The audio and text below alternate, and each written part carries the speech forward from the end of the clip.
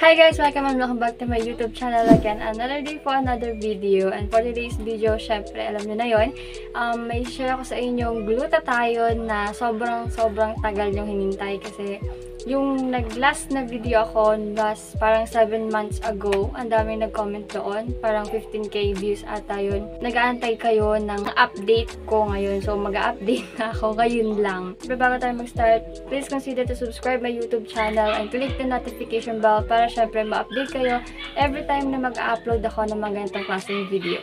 Okay, well, taking glutathione, syempre, hindi ka naman agad-agad na makakampante na lang, ba diba? So, nag-search-search pa rin tayo, ganyan. At the same time, nag-observe-observe din tayo. And ayun na nga yung ginawa ko. In this video, bago ko sa inyo i-review itong Ishin Glutathione, ito, na ginagamit ko ngayon, is pag-usapan muna natin yung ibang facts about glutathione. Ano nga ba yung glutathione?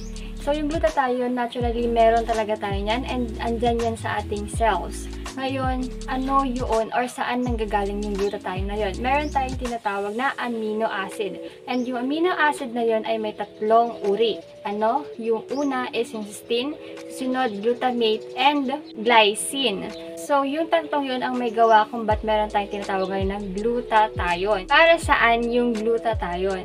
Number one, it acts as antioxidant or antioxidant sa ating katawan. Pangalawa, glutathione helps to fight free radicals. So, ano yung free radicals? Ito yung mga molecules na sumisira sa ating body cells. So, ano nga ba yun? Ito yung mga nagkukos ng cancer, stroke, heart disease, or um, different diseases of aging. So, kung mababa or wala kang glutathione sa katawan, syempre, walang maglilinis ng internals mo.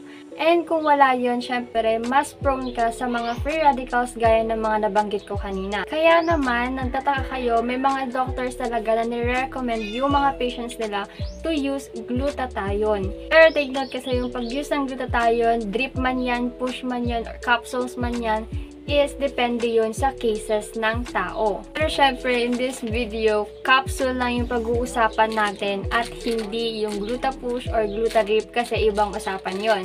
Now, bakit ito nire-recommend ng mga doctors or sometimes nga kahit hindi nire-recommend, eh gumagamit tayo katulad ko. Number one, kasi nga yung glutathione is, ulitin ko, antioxidant which is tumutulong siya para palinisin yung katawan natin, internal, Then, essential din ang glutathione para sa ating immune system for proper functioning. However, malamang sa malamang ay alam na, na rin to na ang mga glutathione that are made as capsule is hindi siya 100% hindi siya 100% na ma-absorb ng ating katawan. Kaya naman, mas marami pa rin pinipi, mas pumipili sa mga gluta-push, gluta-drip kasi yun is directed sa ating um, ugat which mas madaling ma-observe or mas madaling dadaloy dun sa ugat natin yung glutathione. However, marami pa rin mas pinipili gumamit ng capsules or gluta capsules. Kahit na hindi siya 100% sure, at least meron pa rin naglilinis or nag-work pa rin sa loob ng katawan natin para maginis ng ating mga internals. Here we go. Ano nga ba yung mga glutathione effect?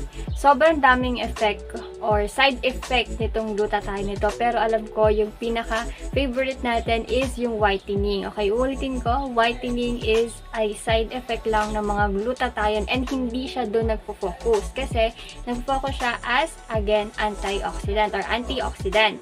Now, ano nga ba or ilang milligram yung kailangan nating inumin to get the best result of taking glutathione. Sabi, based on my research, and sabi rin ng iba, 500 milligram is parang minimum kumbaga. Pero yung iba kasi ng mga na-try ko na glutathione is nakalagay doon, katulad itong Ishin, nakalagay dito is 1 to 2 capsule per day and yung capsule nito is 500 milligram. Meaning, kapag uminom kayo nito ng times, 2 times a day, makukuha niyo yung 1,000 milligram. But then, again, again, hindi for sure or hindi 100 for sure, kukuha nyo yung buong milligram nitong glutathione. ba diba? Sabi ko kanina, glutathione capsules are not 100% assurance na ma-absorb yun ng inyong body. But anyway, okay na rin kung magkakaroon kayo ng at least 1,000 mg per day. Later on sabi ko sa inyo, ano yung sinasabi natin hindi hiyang or hiyang. Paano natin malalaman? Pusid muna tayo dito kay Ishin Advanced White Japan Formula and it is 60 capsule na siya. So, meaning, dahil 60 capsule to, 2 times a day, and 500 mg per capsule. Lagi ko sasabi sa inyo, always check the ingredients first or nutrition facts ng mga products na ginagamit nyo bago nyo gamitin. Kasi mamaya may mga ingredients na hindi nyo pala hiyang or maka-irritate ang inyong skin, and lalo na, or especially kapag uh, yung mga products na ginagamit nyo ay internal. Okay. Dito sa nutrition facts ng Niishin, halos lahat yung ibang mga ingredients dito or yung formula is naka-zero lang siya. So, hindi ko alam kung ilang milligram to. So, pero, yung main um, ingredients niya is syempre nandito and complete siya. Ano yung main ingredients nitong Ishin na to? Siguro magtataka kayo kasi sobrang mura talaga ng 350 pesos tapos 60 capsule na glutathione. For me, sobrang affordable nito. Pero syempre magtataka kayo ha, 350 pesos, tapos glutathione siya, tapos 60 capsule pa. Pero medyo nakaka-isip kung is, is it really effective sa ating katawan or sa ating skin. Alam nyo naman na ang Japan is medyo advanced talaga siya sa technology, kaya halos lahat ng collagen, ng glutathione, ng vitamin C is galing sa Japan talaga. And marami din nagsabi na trusted lahat talaga ng product sa Japan. Maliban na lang syempre kung may gagaya nung product na yun ng fake. Speaking sa mga fake na products, okay, may fake po ito. Ang daming naghalat na fake nito and parang nakabili yung kapatid ko ng fake Ishin. Pero buti na lang hindi niya tinapos yun na inumin. Itong Ishin na to actually is galing talaga to sa Ishin talaga na brand. Sila yung nagpadala sa akin. Nakapag-review na kasi ako 7 months ago yung namabot ng ilang views dahil nga doon is napansin ako ng Ishin kaya nagbigay ulit sila sa akin ng sobrang daming products and hindi lang ito yung pinadala nila sa akin. Kaya naman tuloy-tuloy ako ulit ng pag-inom nito. To the ingredients topic. Number one, meron itong premium collagen peptide which is 250 mg and is nakatulong siya for some um, skin condition and joint condition and also sa mga sign of aging. Next, meron itong pearl powder which is 100 mg na nakatulong naman or nag-works as anti-inflammatory, detoxifying, and relaxant. And yung pinaka gusto natin is yung L-glutathione which is 100 mg which is ito yung nagpo-fight sa ating mga free radicals. At yung sabi ko kanina na yung tatlong types ng amino acid. Ibig sabihin siya yung lumalaban para um, ma-rebuild or ma-repair yung mga cells natin. Next, meron tong N-acetyl and L-cysteine or yung tinatawag natin NAC is 50 mg. So, ano naman yung gagawa nito? So, ito yung tumutulong naman dun sa ating L-glutathione para um, andun lang yung level or para naka-steady lang yung glutathione sa ating katawan. Meaning, siya yung nag-aangat ng glutathione sa katawan natin. Imagine, apat, yung apat na yun pinagsama-sama sa iisang capsule lang. So, sobrang ganda, ba? Plus, okay, may hindi ako nasabi kanina. ba minsan kapag kumiinom tayo ng glutathione, may nakapansin tayo na apektuhan nito yung ating mood, yung pagtulog natin, yung pagkain natin, yung minsan dumadalas yung pagdudumi natin. Yun ay dahil meron itong pearl powder, which is nakakatulong siya para sa may mga insomnia, sa may mga palpitations, or ibang mga disorders. Meaning, kapag ka nagkakaroon tayo ng ganon, nalilinis yung katawan natin or nararamdaman talaga ng katawan natin na meron tayong iniinom na glutathione. Okay, ito na yung issue na sinasabi ko kanina. Paano natin masasabi if the product of, or if the capsule is effective or not? Sabi, sabi ng iba, ay, nakagamit na ako nito, tapos hindi naman ako pumuti. Wala naman nagbago sa katawan ko. Maybe may mga ganyan talagang cases na parang talagang wala lang kahit uminom ka na. Pero laging tatandaan, lahat ng product is depende kung gaano or kung hanggang kailan nyo sila ginagamit. Kasi walang product na may miracle na isang gamit nyo lang i-effect na isang isang buwan or isang bottle lang, isang product lang yung ginamit nyo, makikita nyo na agad na babuwaitan kayo. Walang ganon. So, dapat kapag gagamit kayo ng product product, kahit capsule man yan, kahit ano pa man yan, maski nga yung Glutadrip and Glutapush, meron siyang per session, so per process talaga siya bago makita yung effect. So, ganun din, mas lalo. Mas mabagal pa mga capsule. Depende lang yan kung paano mo siya iinumin, kung paano mo siya gagamitin. Paano ba natin malalaman if hiyang natin yung product or not? Marami kasing nagsasabi, parang mali yung pagkakainin nila o mali yung paggamit nila ng sinasabi nilang hindi ko hiyang, hindi ko nagagamitin. Parang hindi ko to hiyang hiyang. Ginamit ko pero hindi ko hiyang. Ito yung mga kadalasang dahilan kung bakit nasabi natin hindi natin hiyang ang product. Number one, after gumamit ng iisang bottle sa iisang buwan ng paggamit ng glutathione. Kasi nga naman, di ba, kapag glutathione sinasabi nilang lagi, nakakapagpaputi yan. Automatic nakakapagpaputi yan pagka ginamit mo. So, meaning, lagi natin iisip kapag isang bottle lang puputi na tayo. Okay, hindi ganun. Depende yan sa skin tone ninyo. Kung morena kayo like me, syempre, yung iisang bottle at yung 1,000 mg or 500 mg per day is not really effective kung yun lang ang gagamitin mo. Kailangan mo maging consistent sa paggamit. Kung morena ka, use this for 3 to 6 months bago makita yung result and use this depende kasi sa nakalagay na prescription. Number one, marami ding mga glutathione capsule na sinasabi, mas magandang uminom ng glutathione pag walang naman yung chan. Yung iba naman, mas maganda kapag ka after ng kumain. Ang ginagawa ko dito sa Ishin, inigamit ko lang siya. Pagkagising ko sa umaga, tubig, sa basong tubig, then isang ulit baso ng tubig, tapos isasabay ko na tong Ishin. One capsule. Pangalawa, after kong kumain, syempre, lagi mong uh, sasabayan ng vitamin C.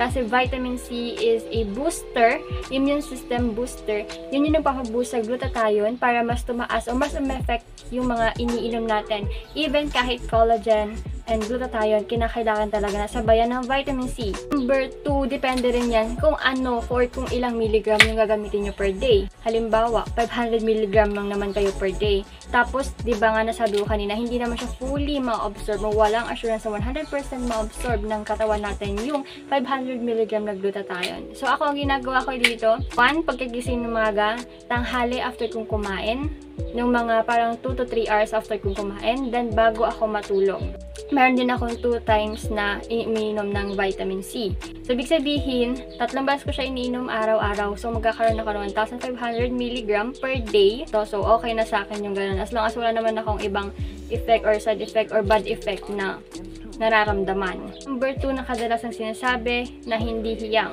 Yung pagkakaroon ng mga parang bad, na, uh, bad effects like nagsusuka, stroke, o kaya humihirap huminga. Ibig sabihin lang hirap huminga masyadong mataas or hindi nyo hiyang ang glutathione or masyadong mataas lang talaga yung uh, milligram na ininom ninyo. Yung iba, masak- masama na talaga yung pakiramdam. So, yung mga ganun, sabi natin na natural na hindi talaga natin hiyang. Pero, yung magka-breakouts tayo. Some cases, yung pagkakaroon ng breakouts during sa paggamit ng glutathione is natural. Kasi, minsan kasi, yung dahilan na pag-breakout natin is nalilinis kasi internal natin. So, nilalabas lahat ng mga dumi sa loob ng skin natin. So, yun minsan, or kadalasan, yun talaga yung nagiging effect ng glutathione. Kasi nga, it is antioxidant, which means talagang naglilinis siya ng ating um, katawan, lalo na kapag ang target nito is liver, para kung hindi ako nagkakamali, mas lalo tayo mag-breakout kapag ka medyo madumi talaga yung internal natin. Yung pangatlong dahilan kung ba't nasabi natin hindi hiyang yung product is dahil nga sa milligram, gaya na sabi ko kanina, hindi 100% assurance na mapapasok lahat or ma-absorb lahat ng katawan natin. So, depende talaga yan sa milligram na tinitake mo na glutathione every day. ba diba, sa glutadrip nga, uh, meron silang parang 2,000 mg per day yung kailangan nilang ano. And depende pa pala yun kung may bisyo ka. Syempre, kung may bisyo ka, bisyo ka tapos nag-glutathione ka, syempre, imbes na kumalat yung glutathione sa buong katawan mo para mag-repair ng skin mo, mas magpo-focus na lang siya doon sa mga internals mo na kailangan niyang linisin. Better to be wise also sa pag-inom ng mga glutathione. Paano natin talaga masasabi na hindi natin hiyang? For me, it is just for me, hindi ako expert. So, ito lang yung para sa akin. Ito lang yung alam ko and based sa mga observations ko. Masabi lang natin na hindi hiyang yung products if talagang may mga super severe side effect na nararamdaman. Second is kapag ka, ang tagal-tagal mo na siyang ginamit, parang 1 to 2 years, ang taon pa, tapos hindi naman siya umi-effect. Siguro that's the reason for me para itigil yung pag-take ng glutathione kung anumang glutathione na ginagamit ko during that time para masabi kong hindi talaga siya hiyang. Pero kung idadahilan nyo lang is yung tatlong nabanggit ko kanina para sabihin hindi nyo hiyang yung product, well, mm, kasalanan nyo yun. Overall, mas gusto ko talaga tong Ishin. Ito talaga yung ginamit ko And may mga glutathione ako na try. Pero ito talaga gusto ko kasi number one, madali siyang lunukin. Number two, wala akong gaanong side effects na naramdaman. Kasi mas gusto ko pa nga to dahil hindi kasi talaga ako araw-araw dumudumi while taking this. Medyo nakakatulong siya. Plus, gamit ko rin kasi yung kanilang Asian Vitamin C And siguro next video ko na lang sa inyo yung isi-share. That's all for today's video and I hope medyo malinaw tong video na to and medyo nagkaroon kayo ng idea of course. And kung may, kung may mga tanong kayo dyan, feel free to comment in the comment section and masagulat niyan agad-agad. So before we end this video, please consider to subscribe my YouTube channel, click the notification bell, and para ma-update kayo sa ating mga upcoming videos. Thank you for watching. Bye!